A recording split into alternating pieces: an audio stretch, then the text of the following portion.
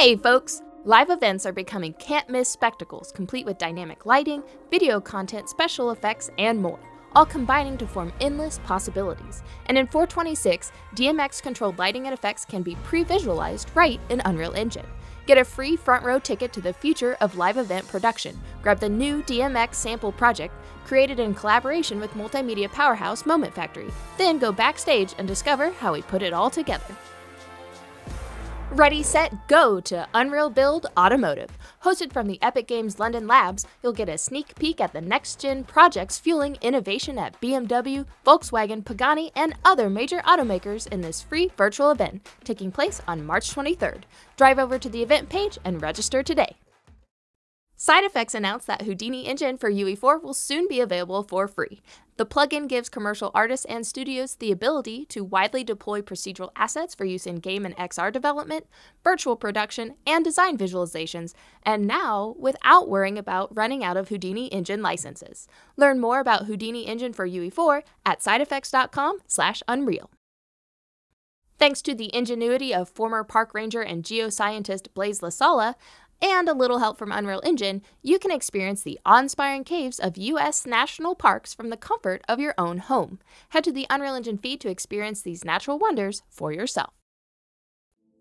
Want to learn how to create mixed reality experiences for the Microsoft HoloLens 2?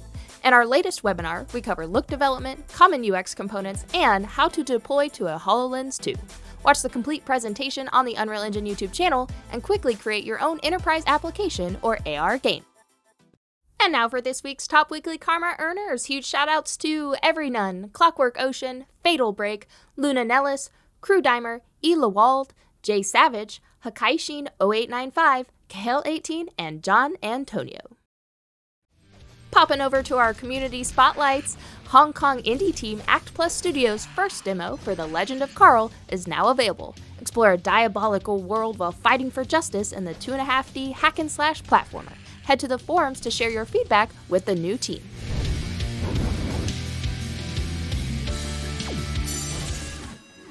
Next up is a gorgeous automotive cinematic by Damian Belinsky called The Quest.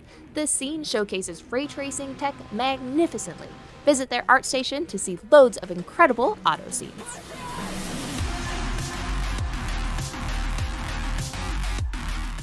Last up, enjoy this outstanding detailed outpost, now taken over by goblins. Stephen Hong created everything in the fully realized scene other than a couple small particle effects and a statue. See more of this beautiful piece on Stephen's ArtStation page. Thanks for watching this week's news and community spotlight.